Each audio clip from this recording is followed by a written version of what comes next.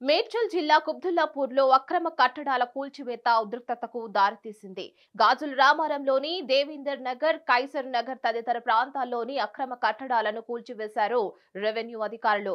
జేసీబీలతో ఇండ్లను కూల్చివేస్తూ ఉండగా స్థానికులు అడ్డుకునేందుకు ప్రయత్నం చేశారు. ఇక దీంతో అక్కడ వాతావరణం ఉద్రిక్తంగా మారింది. దీంతో పోలీసులు పెద్ద ఎత్తున మోహరించారు.